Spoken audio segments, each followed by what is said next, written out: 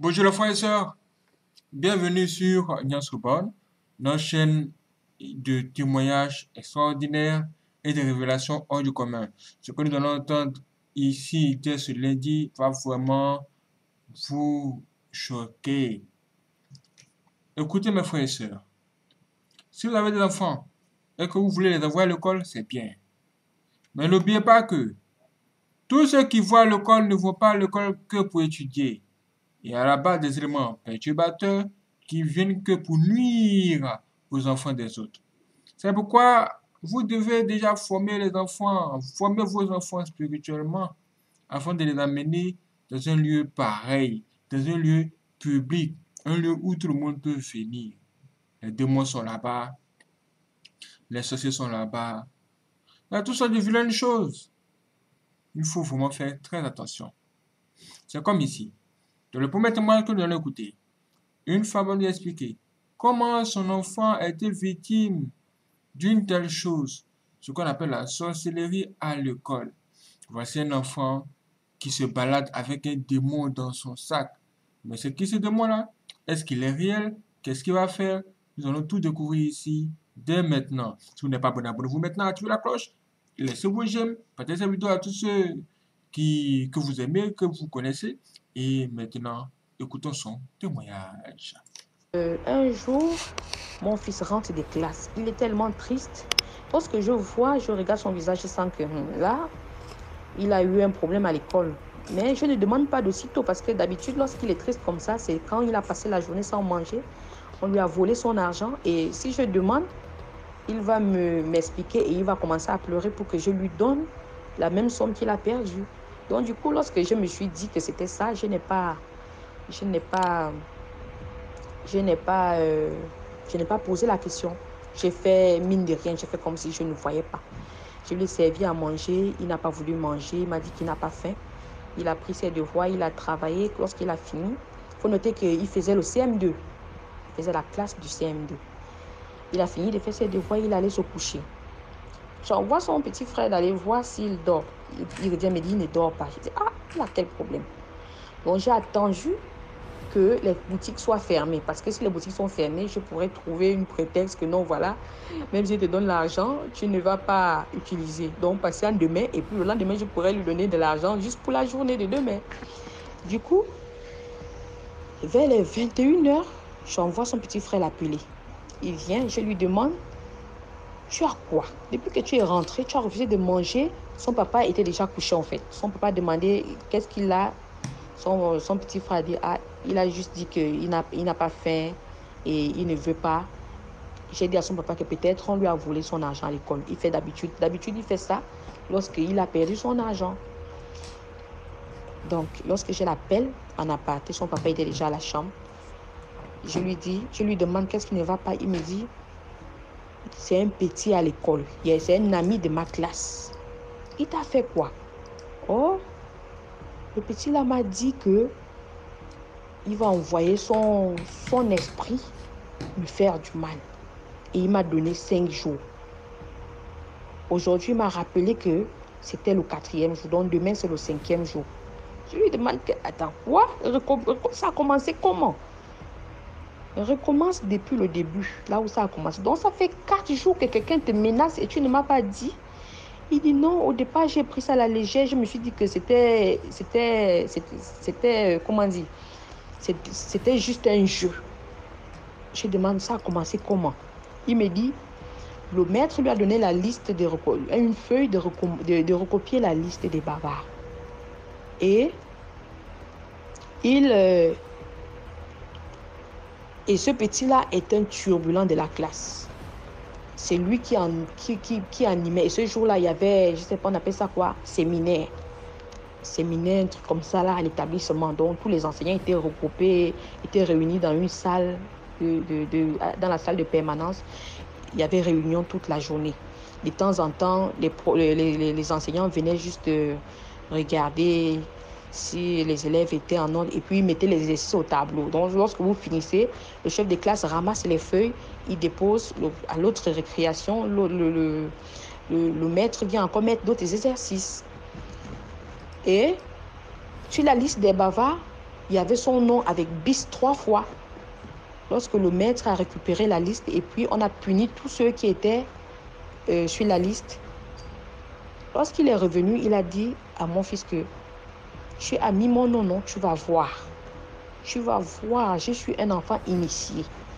Je suis initié et je vais t'envoyer mon moukoukwé. Mon moukoukwé, c'est ce que le petit lui a dit.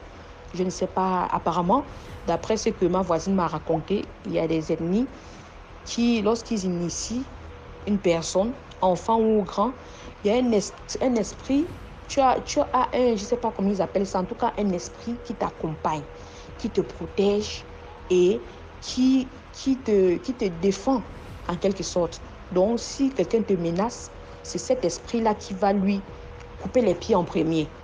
Donc c'est cet esprit-là qui va lui faire du mal en premier. Genre les enfants bagarrent, ou bien une personne qui a été initiée bagarre avec, ou bien se chamaille avec une personne. Avec, euh, voilà. Donc, lorsque vous vous bagarrez, que tu le gagnes ou pas, il suffit qu'il t'envoie son esprit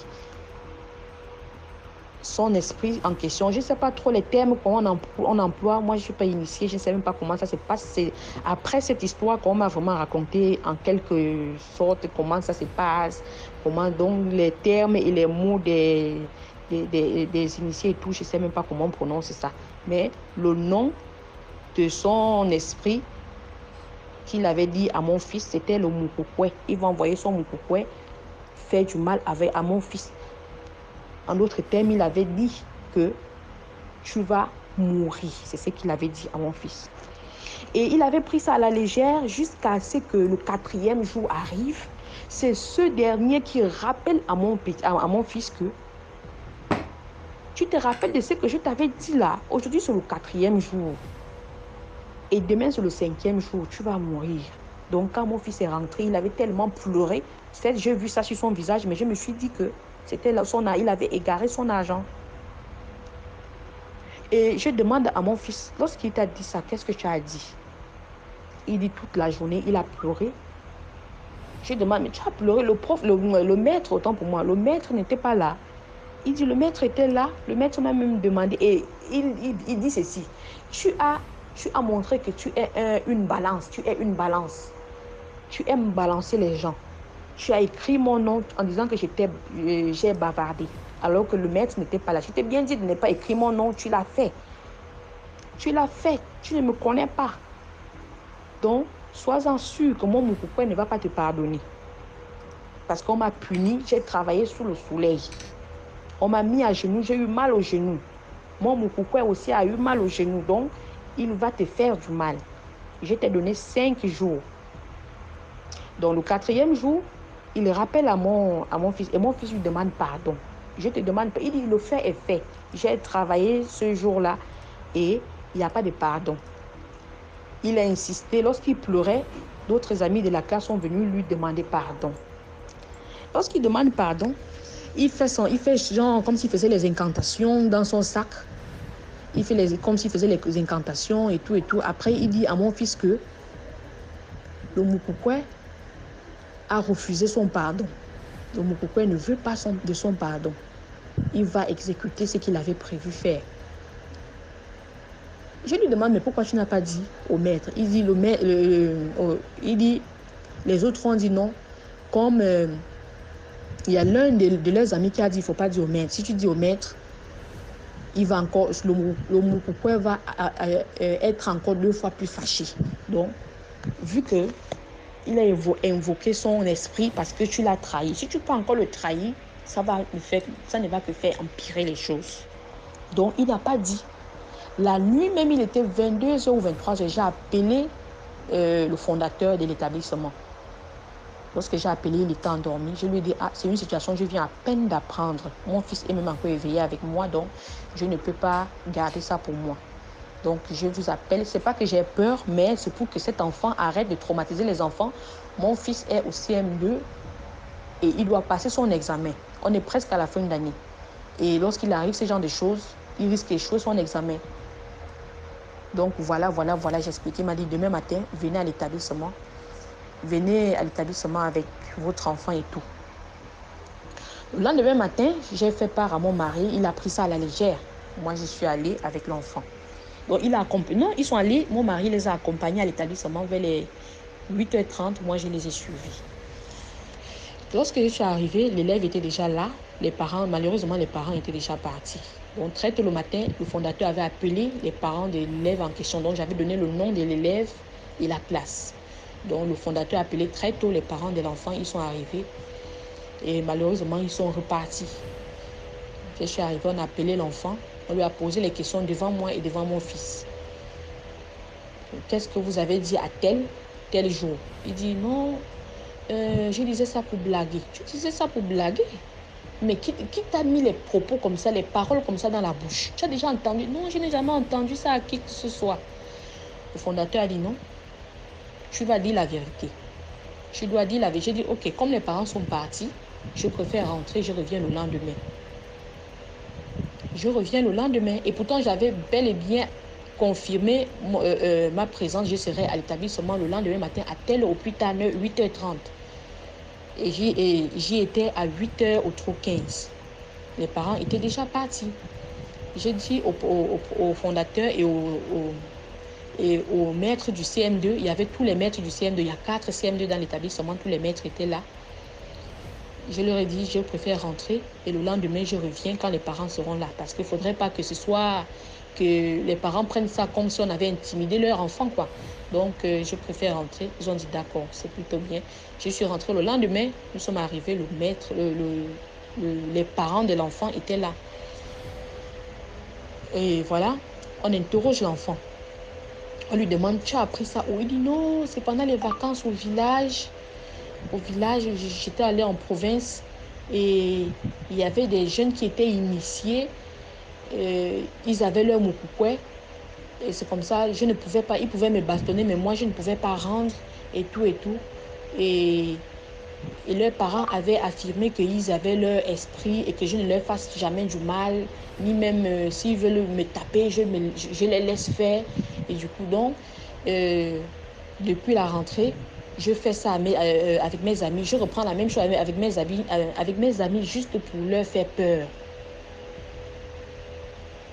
On a dit, ah bon, donc c'est comme ça que tu, tu prends, tu sais que telle une chose est mauvaise, tu intimides tes amis avec.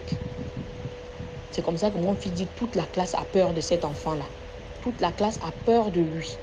Parce que depuis la rentrée scolaire, il fait ça. On a dit, ah bon. Et personne n'a jamais osé le trahir parce qu'il disait que si quelqu'un le trahit, il va, le Moukoukwé va agir. Et étrangement, le maître dit, c'est un enfant très très turbulent.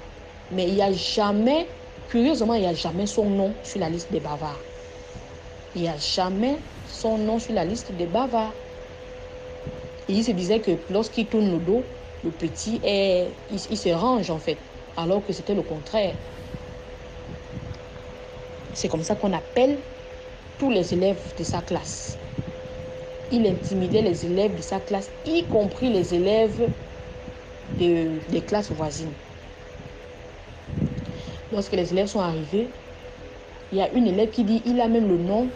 Parce que lorsque les élèves sont arrivés, il a commencé à nier. Non, si je n'ai jamais parlé du Moukoué, non, c'est vrai que mes amis m'embêtaient avec au village, mais je n'ai jamais dit que quelqu'un va mourir. Non, machin, truc. Moukoué, c'est quoi? Je ne connais un petit enfant de, de 10 ans, hein, mais il nous a tenu tête. Et le fondateur, et les maîtres, et les...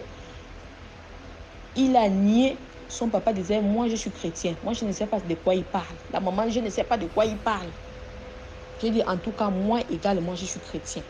Je ne suis pas venue et, me plaindre parce que j'ai peur de lui ou quoi que ce soit. Mon fils également. Mais je suis venue parce que l'enfant doit passer son examen. L'enfant ne doit pas être traumatisé par une telle chose.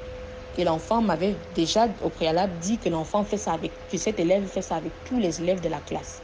Et c'est un établissement où ils ont toujours un pourcentage net. Ils sont toujours à 100% ou, au moins 99%. Donc, c'est comme ça les élèves disent, disent il a écrit Moukoukwé sur son sac, sur son sac à dos. On a envoyé l'enfant aller prendre son sac à dos. Il apporte, il avait écrit Moukoukwé sur tout son sac. Les parents dit n'ont jamais remarqué que c'était le mot Moukoukwé qui était écrit sur le sac. À un moment donné, on s'est demandé si les parents n'étaient pas complices de tout ça. En tout cas, en quittant de là, cette année, c'était l'année dernière, mon fils fait, est au collège maintenant. Au sorti de là, le, fondateur avait exigé que le sac de l'enfant soit changé et que cet enfant ne prononce plus jamais ce mot-là. Que cet enfant ne prononce plus jamais ce mot. Et moi, j'avais dit aux parents que s'il arrive quoi que ce soit, en tout cas la séance est tenue avec tous les élèves, on a, on a tous les témoins et tout. La séance a été filmée, bien sûr sans mettre le visage des enfants, c'était juste le vocal qu'on entendait et on voyait les pieds des élèves. Donc j'ai dit s'il arrive quoi que ce soit à mon enfant, tout le pays sera au courant. Et on, est, on est quitté de là.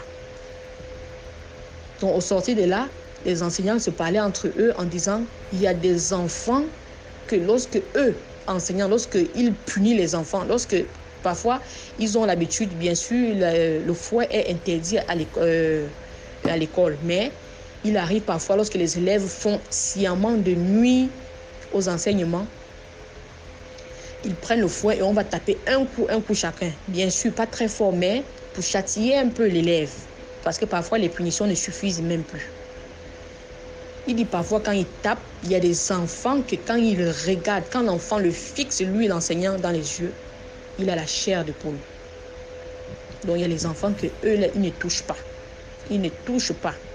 Quand ils fouettent, quand ils arrivent sur l'enfant, l'enfant te regarde là, tes cheveux se hissent sur la tête. Tu sens que non, lui là, il n'est pas simple, il passe. Donc, euh, il faut, il faut vraiment tenir compte de ce que nos enfants nous disent. Il faut tenir compte de ce que nos enfants nous disent. Et il faut surveiller les enfants. Même quand l'enfant ne parle pas, il faut, il faut, euh, il faut savoir observer son enfant. Il faut savoir comprendre son enfant.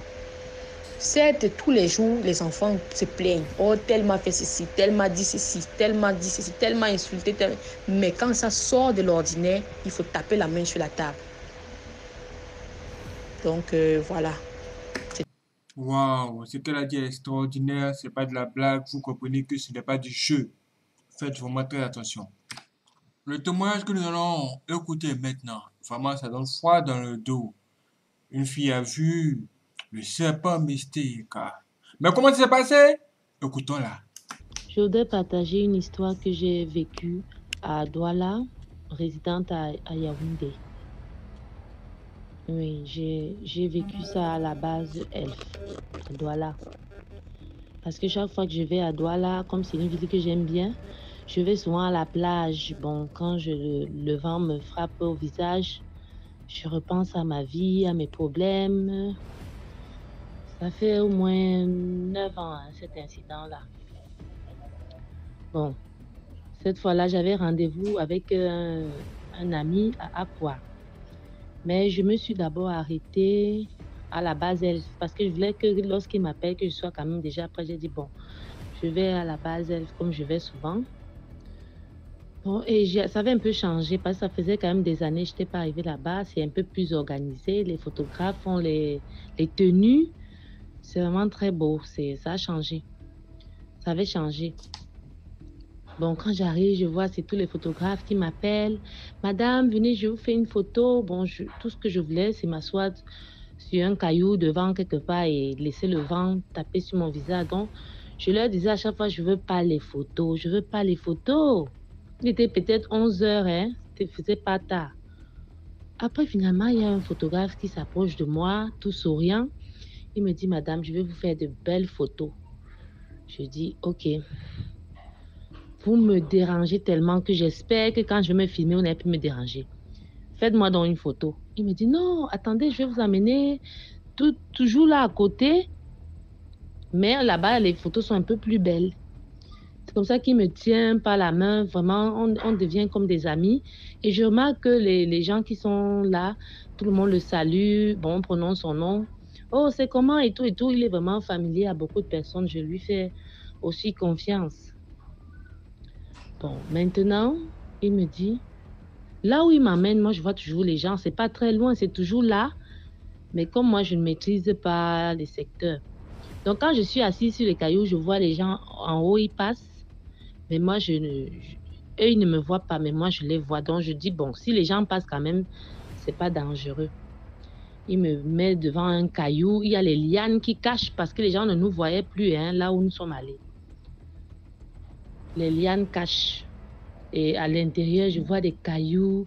C'est un peu sale. Je dis donc, ah, pourquoi tu m'emmènes ici? Ça a l'air sale, hein Il n'y a pas les serpents Il me dit, non, qu'est-ce que tu racontes? J'ai dit aussi comme ça. Hein. Il dit, non. Je portais une longue robe pagne, tissu pagne, avec une jolie sandale vraiment très délicate. J'avais un sac à main.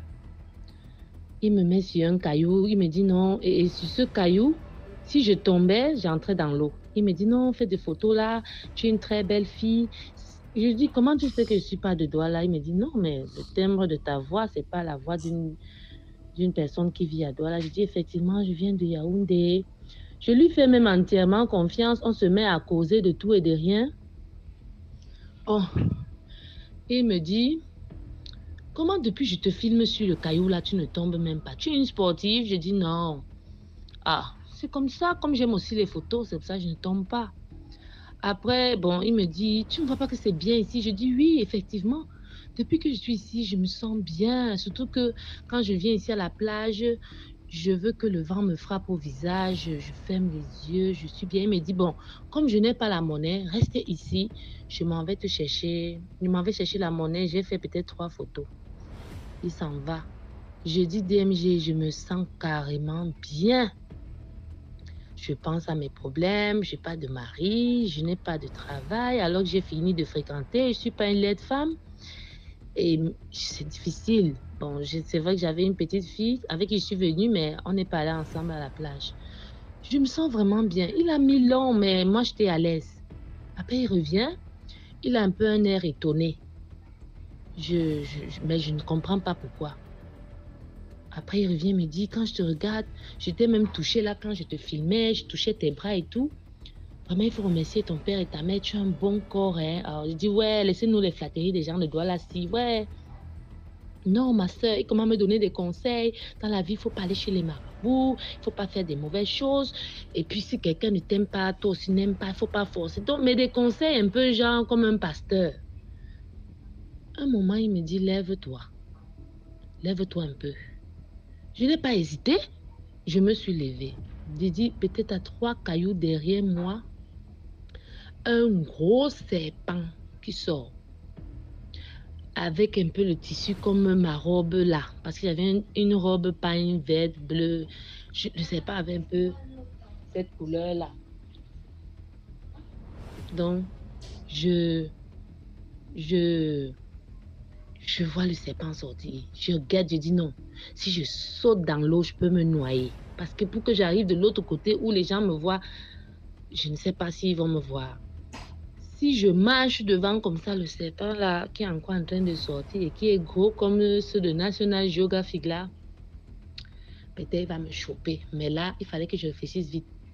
Il me dit restons debout là. Mais je l'ai lâché, j'ai laissé même mon sac et j'ai couru juste jusqu'à la seule sortie où je pouvais. Et quand je saute là comme ça, je tombe par terre, mon habit se déchire un peu à la poitrine partout. Et c'est là que tout le monde est étonné que, mais qu'est-ce que cette dame euh, tombe par terre comme ça? Je me mets à m'exclamer, comme chez nous ici à Yaoundé, et eh, anti, anti wama, anti zamba, aïe aïe aïe. Bon, et puis tout le monde a l'air de me voir comme une dingue. Puisqu'il y a quelqu'un qui m'a demandé que est-ce que c'est sûr que vous avez souvent peur des mille pattes? Mais il y a un monsieur qui a dit à sa femme, mais non, quand quelqu'un se plaint, il faut essayer. Je leur ai dit non, allez un peu regarder. Le photographe est encore là-bas et j'ai laissé mon sac là-bas. J'ai vu un gros zèbre. Je dis, après le monsieur, il sort de cet endroit en riant et il me fait passer pour une ridicule. Parce que personne, presque personne ne marque. Je dis, je dis qu'il vient de voir un serpent. Notre dame me dit, madame, regardez votre habit est déchiré. Je dis que l'habit, s'il ne me dit rien, je viens de sortir d'une situation compliquée. Même si on voit mes soutiens, ça me dit un don. Je vois que là, on ne prend pas très au sérieux. Et il se met à nier. Il me dit, non, c'était pas le serpent. Je dis, merde. Je dis à monsieur, monsieur, monsieur, repartez un peu. Repartez un peu là-bas. J'ai même laissé mon sac là-bas. Je ne peux plus partir là-bas. J'étais encore en train de sortir quand je... Maintenant, le monsieur s'en va. Il ne voit rien. il me ramène, il me rapporte quand même mon sac. Je dis merci. J'essaie de vouloir le confronter. J'ai dit que j'ai vu quelque chose. Mais je vois, il me regarde. Il me regarde un peu, il est un peu apeuré. Il me regarde, il ne comprend pas. Il ne comprend pas. Mais il ne veut pas accepter que c'était le serpent. C'est là qu'il y a un problème entre lui et moi. Finalement, on se retrouve rien que nous deux. Les gens, ils vont à leurs occupations.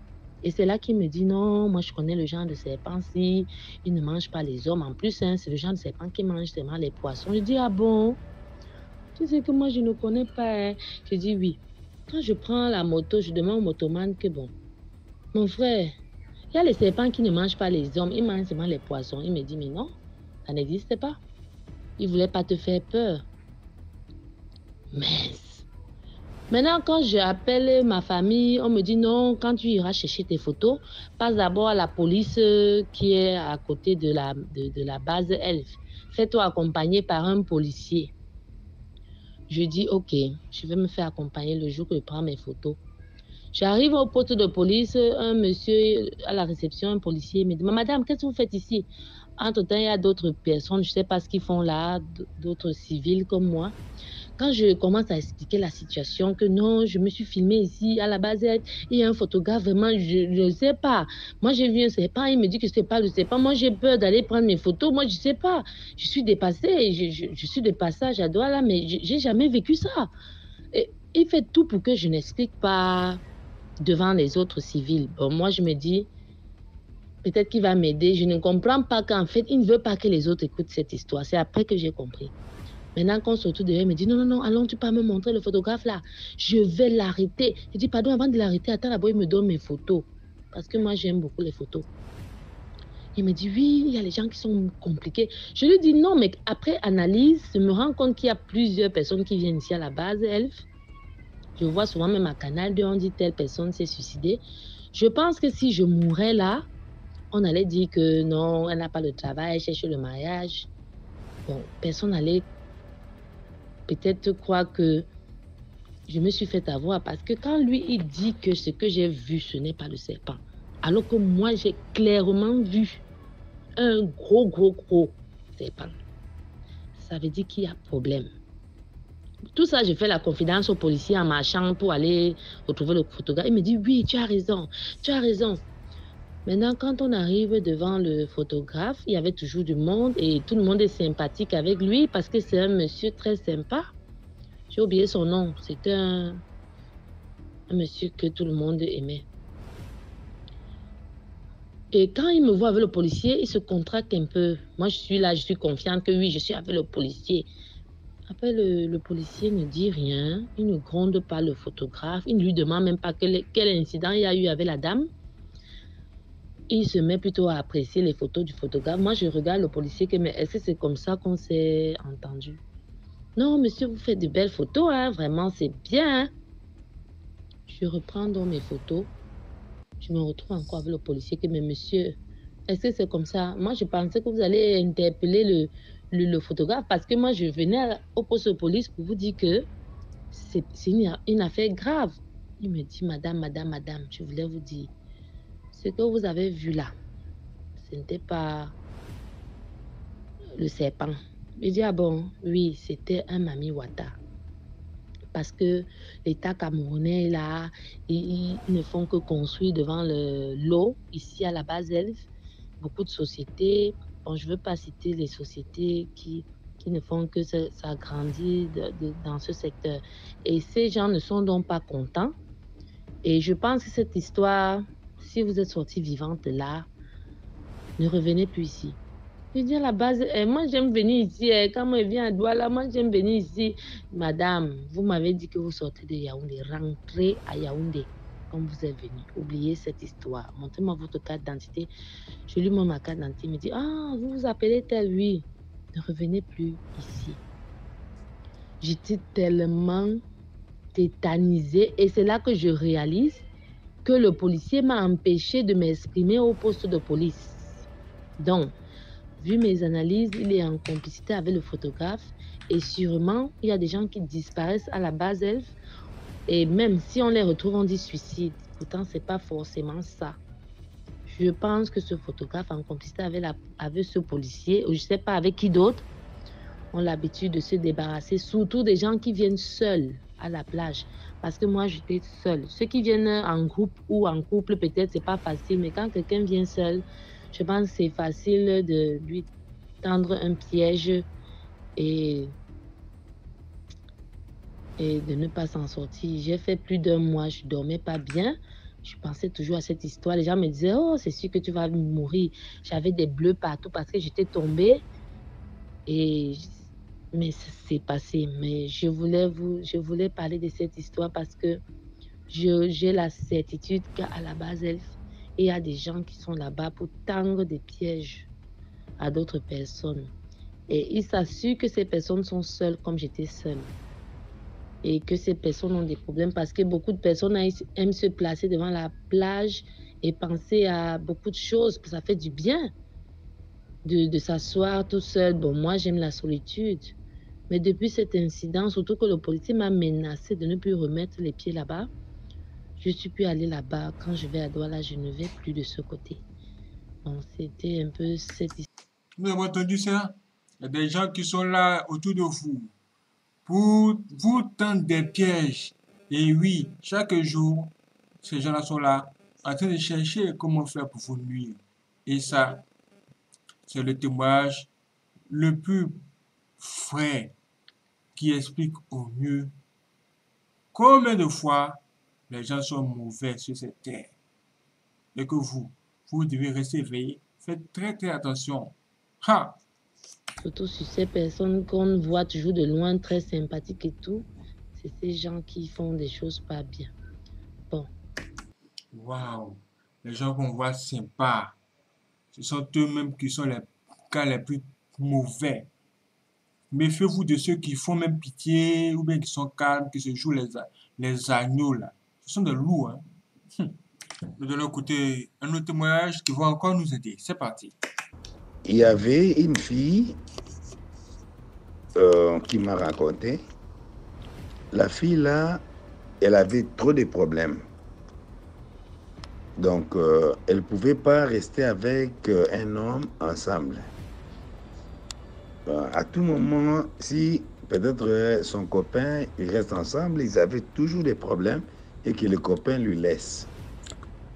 Et que même si quelqu'un lui poursuit, et ils sont ensemble, mais euh, ça, ne, ça ne marchait pas.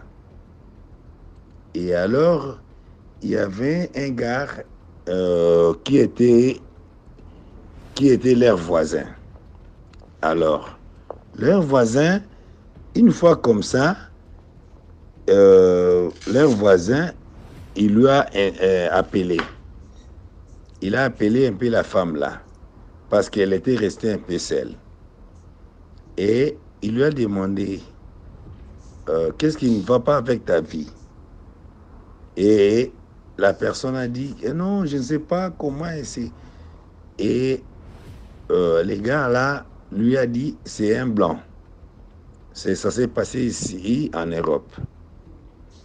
Et que les gars là lui a dit que moi je vois, il y a toujours quelqu'un qui vient dans ta maison et qu'il ouvre la maison et qu'il entre dans ta maison. Chaque nuit, moi je le vois. Est-ce que tu connais cette personne-là? La femme l'a dit non. Moi, je ne connais pas la personne là qui vient dans ma maison. Ok. Après, la femme là est partie, elle est sortie, elle faisait toutes ses activités et après, le lendemain encore, il voit encore son voisin lui dit que moi je vois, il y a quelqu'un qui vient dans ta maison la nuit et qu'il ouvre la maison et qu'il entre dans ta maison. Ah. La femme l'a dit, mais c'est qui? Je ne comprends pas. Parce que les gars là, il fut un prêtre exorciste. Mais il a retired. Comment, comment, comment je veux dire? Retired, c'est-à-dire qu'il n'est plus encore euh, prêtre et puis il est seulement quelqu'un avec, euh, je sais pas, avec sa famille. il était resté seul. Et maintenant, il s'est passé que les gars là, la troisième fois, il a dit que, bon, moi, je vais un peu t'aider. Il a dit à la fille là, moi, je vais t'aider. Le lendemain, le matin, je vais venir dans ta maison. La femme l'a dit, il n'y a pas de problème, parce qu'ils sont des voisins. C'est un blanc. Et après, la femme là, euh, la femme là, congolaise, elle a subitement vu les gars là, il est venu avec euh, un box, une bouteille. Comme les bouteilles là qu'on met les honey, comme les bouteilles là qu'on met les jam et tout ça. Mais à l'intérieur là, il y a quelqu'un là à l'intérieur. Et que quelqu'un là qui bouge, mais il a fermé la bouteille là. Donc c'est un box, hein, comme une boîte, quelque chose comme comme on met les, les jams, comme on met les honey, quelque chose comme ça. Il y avait quelqu'un là à l'intérieur. Et il s'est présenté devant la femme et il lui a dit que voici la personne qui te dérange chaque jour et je l'ai attrapé. Ah, la femme là a, a, a, a, a, vu les images là. La personne qui était à l'intérieur, c'était son oncle. Il était en train, il était tout nu, en train de tourner à l'intérieur là. Et le gars là lui a demandé, est-ce que tu veux que je puisse tuer cette personne ou bien que je puisse lui laisser en vie? Et la femme là a dit que il faut le tuer. Et il a fermé les trucs avec quelque chose comme euh, hein, les plastiques comme ça. Il a mis ça au-dessus. Il est parti. Et le lendemain, on lui apprend que son oncle est décédé. Et elle, elle a raconté l'histoire de sa famille. Donc son oncle maternel, c'est lui qui, qui était comme quelqu'un qui venait pour faire du mal à la femme. Merci beaucoup DMG. Euh, c'est ça. Wow. Bien, nous allons écouter encore un autre témoignage, un conseil pour tous les barbiers. En fait, moi, je suis euh, barbier et j'aimerais dire à mes collègues barbiers de faire très attention à des choses à domicile. Qu'ils arrêtent très souvent d'accepter tout ce qu'on leur propose d'aller faire à domicile parce que vraiment, c'est pas bon. Bon, me voici, euh, j'ai un monsieur que j'ai l'habitude constamment de coiffer. Vous voyez un peu? Bon, un jour, le monsieur m'appelle, il me dit qu'il voudrait que je vienne le coiffer à l'hôtel. Étant tout excité, puisque nous sommes dit pour chercher l'argent et tout, j'apprête mon matériel et tout, j'arrive. J'arrive à l'hôtel, on appelle la chambre du monsieur, il décroche bien, mais quand j'arrive, le monsieur n'y est pas. Je dis, oh, ok, c'est pas grave. C'est là où, Euh, effectivement, j'arrive dans le monsieur, et moi, je suis resté calme, tranquille. J'étais dans la chambre tout seul, le monsieur n'y était pas. À un moment donné, je ressens des bruits au niveau des toilettes. Je ne, fais, je ne parle pas, rien, rien. Je serein, tranquille. Parce qu'avec ces gens-là, il faut jamais montrer que l'on a peur. Plus tu montres que tu as peur, plus on peut t'atteindre facilement. À l'instant, tu es même en tabac. Et c'était bon pour toi. Je suis resté serein. Je fais comme si je n'étais pas intéressé. Et je vois le monsieur apparaître des- euh, à l'intérieur des toilettes. Il sortait des toilettes avec une serviette et tout et tout. Dénudé, franchement. Donc, là où je dis, ok, c'est pas grave. Je m'assois donc. Je demande au monsieur, ok, je suis venu pour vous coiffer comme prévu. Le monsieur ne parle pas. Même un mot, le monsieur n'a pas sorti. Il ne me répond pas. Il est juste debout. Il avait, j'ai oublié le détail, il avait une feuille, une feuille de bananier au niveau de sa bouche. Une feuille de bananier au niveau de sa bouche. Je ne comprenais rien. J'étais tout, serein, offusqué même. J'avais même déjà peur. J'ai dit, ok, c'est pas grave, je vais tenir le coup. Suis resté tranquille. Après, un moment donné, une autre personne sort des toilettes. C'est là où les choses commencent. Que, en moi, je me dis, oh, qu'est-ce que je vais faire ici? Seigneur, j'espère que ce n'est pas ce que je pense. Et me voilà donc qui veut, qui, je suis en train de me débattre pour sortir de la chambre. Et quand je veux sortir de la chambre, en allant vers la porte, la porte se verrouille automatiquement seule. Je ne comprends rien. Je reste tranquille, je commence à crier, je toque la porte avec la force et tout, et tout, et tout, et tout, et tout. C'est là où un monsieur vient toquer à la porte. Quand ce monsieur toque à la porte, le monsieur disparaît avec la personne avec qui il était dans la chambre. Et la porte s'ouvre automatiquement. Le monsieur Hans dit que monsieur, qu'est-ce qu'il y a? Je n'ai même pas eu pris la peine d'expliquer au monsieur. Je suis sorti directement, abandonné tout mon matériel là-bas. Je suis sorti, je suis parti. C'est pour dire à tous mes amis coiffeurs, en général, tous ces gens-là qui ont l'habitude de faire des services à domicile, de faire très attention. Ce jour-là, vraiment, s'il n'avait pas eu cette force-là, peut-être qu'aujourd'hui, peut-être c'est qu'on ne parle plus de moi. Vraiment, faites très attention, dehors est mauvais. Surtout des services dans des hôtels, des appartements privés, tout ça. Il faut beaucoup éviter cela parce que c'est très dangereux. Merci infiniment. Waouh, il a tout à fait raison. Que Dieu nous protège. La fois d'avoir regardé cette vidéo jusqu'ici. Je vous donne rendez-vous pour la deuxième partie qui parviendra dans quelques heures, on va dire. Dès que ça sera prêt, vous en serez informé.